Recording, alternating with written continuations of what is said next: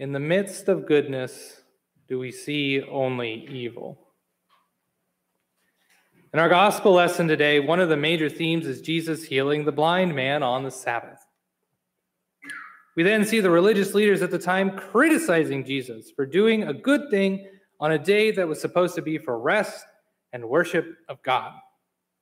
They see that Jesus isn't following the rules as they interpret it. Therefore, Jesus could not be from God, could he? Because the way that we see the Sabbath is not the way Jesus sees the Sabbath. In their criticism of Jesus, they completely ignored the fact that a miracle had just happened. They couldn't care less that a man was, who was blind can now see.